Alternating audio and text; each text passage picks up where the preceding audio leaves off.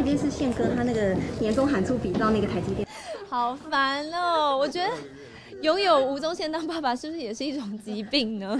我实在是他随便他喊，我真的随便，我真的我不知道，我完全没有去过问他。现在我我今天早上才跟他讲电话，然后他说怎么样啊？天气那么好，你要去哪里玩？我说我要工作。他昨天呢？昨天天气很好，我说我昨天也在工作。他前天呢？我说爸。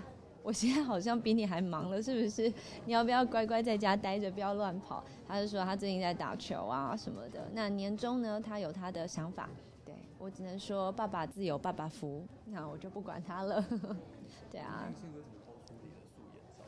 对啊，哎，他很谢谢，还是有用个小小滤镜啦。怎么这样？那呃，其实那天就是因为我终于有连着两天休息，所以我就刻意的在家里面什么都不做。然后他就是传了讯息关心我，然后我就说我现在就赖在沙发上，传了照片给他，就他就上传了。然后等到我意识的意识过来的时候，就是我剧都已经追了另外两集了，我才发现呃，怎么上新闻了这样？对啊，然后很多人说就是女版吴宗宪啊什么，我想说。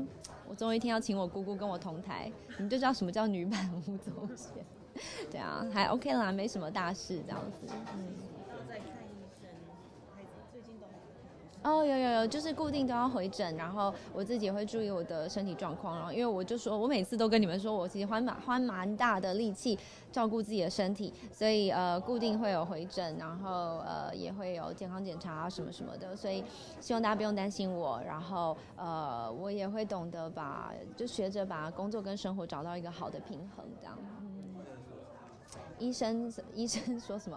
医生说很多哎，医生说，医生说哎你来啦，从这边开始嘛。后来他说哦那你先走吧，这样没有啦。医生其实因为已经就是固定看医生蛮长的时间，然后互动都还蛮好，相谈甚欢。对对对对，有需要介绍医生给你认识吗？没事啦，还好还好，没事没事。对对对，不用担心。对，谢谢谢谢。嗯，哦，我一直以来都是一个非常有母爱的人。这样讲起来，我从二十一岁当老师就很有母爱了。但是母爱这种东西，我从这个从小就会有，但是本来就是不会因为看到别人有小孩而这样想要生小孩嘛。对，这个陈小钟哥讲的一句话，我真的听了觉得非常好笑。因为他说他每次参加婚礼都会问他说：“哎，怎么样啊？看别人结婚，你会不会想结婚啊？”小钟哥就说：“不会，哎，因为我参加丧礼，我也不会想死啊。” 然后我想说，哎，怎么这么有道理？然后我就觉得，对啊，没错啊。看别人有小孩，我不会特别想要有小孩，所以不用担心我。有的话会跟大家说，但一定会先结婚，不要担心，不要担心这样子。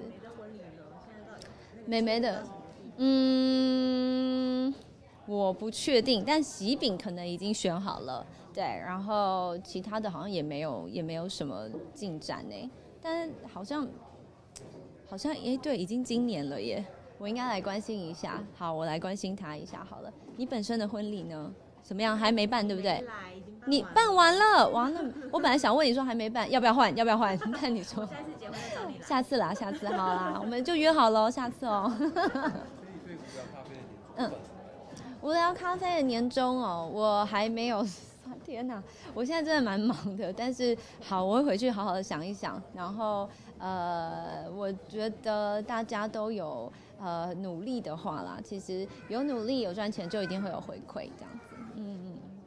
基本应该一两个月。哈，一两个月是基本吗？哇，你们记者的年终很高是不是？在边呼吁所有的电视台长官们，记者年终抬高喽！他们觉得基本有一两个月哦。